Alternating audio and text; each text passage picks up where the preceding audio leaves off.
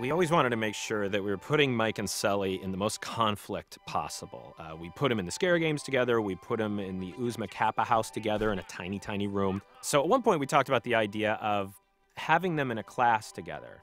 The very first scene setting this up was boarded by uh, James Robertson, Matt Luhn, and Jason Katz, and it's called uh, Drama Class.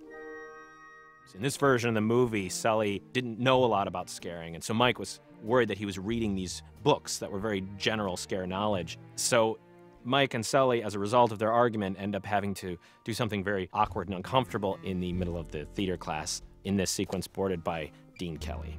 Let's start the improv. We need a character for Michael. Or how about I'm a, I'm a dragon, or a giant mollusk, or I'm a flower. A flower! Perfect. And now a character for James. I, I don't really A wanna... bunny. a big cuddly bunny. Very good, Claire. James, you are a bunny. Michael, be a flower, sway in the breeze, show us your beautiful petals. James, be a bunny. Hop around, sniff the flower.